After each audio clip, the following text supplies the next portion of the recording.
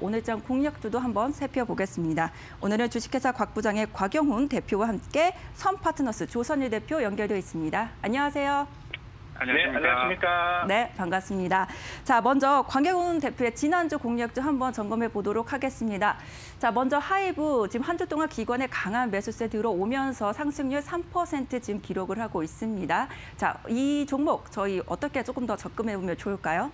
네, 일단 뭐 차트 관점에서 보시고요. 수급 관점, 내용 관점에서 다시 한번 더 리뷰를 좀 해드리겠습니다.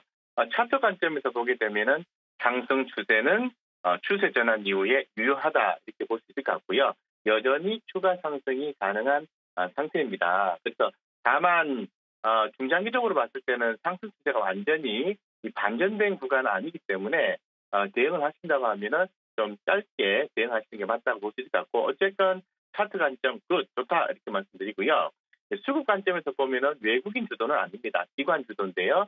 최근 5일간 그 수급을 보면 23만 주 정도 순매수 유입되면서 대단히 좀 좋은 모습입니다. 좋은 모습이고 최근에 그 short cover 가능성이 좀 커지고 있는 상황이고 주가의 탄력적 움직임 기대 기대가 좀 되고 있는 상황이기 때문에 긍정적으로 보셔도 될 것 같습니다. 하이브 같은 경우에는 대표적으로 reopening 관련된 종목으로 엔터주를 뽑는데요. 엔터주 안에서도 어, 지난 4분기 실적 good 좋았다. 그리고 올해 3월 달에 BTS 3회차 잠실 주경기장 수업 확정 2분기에 이어서 내년 어, 올해죠. 여름 시즌에 오프라인 공연 재개 예정에 따른 K-팝 실적 고성장 지속에 따라서 어, 엔터주 주목해야 되는데 그중에서 하이브, 하이브 글로벌 컨텐츠 기업이죠. 주목하자 이렇게 말씀드리고 지금도 여전히 흐름은 좋다 이렇게 말씀드리겠습니다.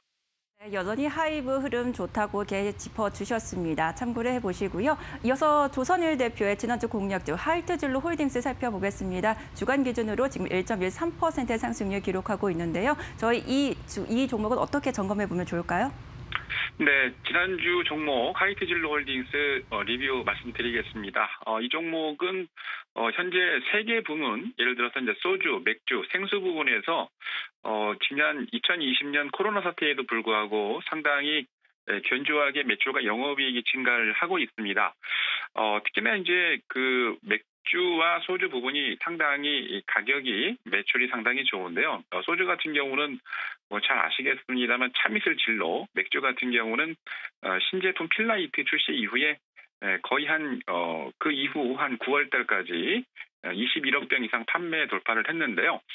어, 현재 어, 이 종목 같은 경우는 어, 외국인의 공매도로 인해서 한 600한 주 이상 공매도가 있습니다만 단기적으로 봤을 때 지난주에 말씀드렸던 대로 어, 3년 만에 소주 가격이 23일부터 인상을 했죠. 7.9% 출고가 가격 인상을 했는데 네, 그로 인해서 매출과 영업이익이 증가를 하겠고요. 말씀드린 것처럼 외국인이 공매도가 아직 한 600만 주 이상 남아 있는데 어, 단기적으로 또는 중장기적으로도 상승을 한다면 short covering이 일어나서 가격도 탄력적으로 움직일 것으로 보입니다. 그래서 어, 지난 주 말씀드렸던 가격 전략은 유효하고요. 중장기적으로도 관심 가져볼 그런 종목입니다.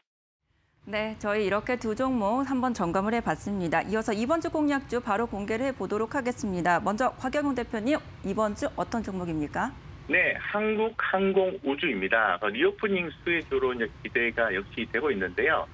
어, 지금 최근에 그 항공우주 최근 이슈 정리를 좀 간단하게 말씀드리면은 이 한국형 발사체 누리호 2차 발사 2차 발사 예정일이 정해져 있죠. 기존에 5월에서 6월로 변경이 되면서 어, 현재 지금 예비 기간 6월 16일에서 6월 23일이기 때문에 뭐 그때까지는 충분히 기대감을 가질 수 있다 이렇게 말씀드릴 수 있을 것 같고요.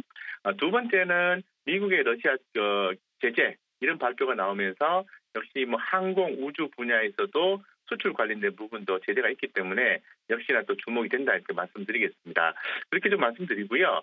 일단 차트적 관점에서 보면은 정고점까지 올라오긴 했는데요.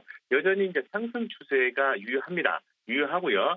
중장기적 관점에서도 뭐 상승 트렌드가 유지가 되고 있기 때문에 좋다 이렇게 말씀드리고 뭐 수급적인 측면에서 봤을 때도 어, 외국인도 수급이 최근에 어, 유입되기는 했습니다만 특히 기관들의 수급이 어, 지난 한 달간 봤을 때는 94만 주, 최근 일주일간을 봤을 때는 59만 주 외국인 수급 유입되고 있다고 볼 수 있는 거죠. 그래서 내용적인 면, 수급적인 면, 차트적인 면 그리고 더불어서 실적도 올해 좀 개선될 거니까 뭐 어떤 실질적인 측면에서 상당히 좋다고 말씀드리겠습니다. 현재 가격이 37,650원이거든요. 그래서 upside 4만 5천까지 보시면 되고요. 목표가 손절가는 3만 5천 원 제시해 드리겠습니다.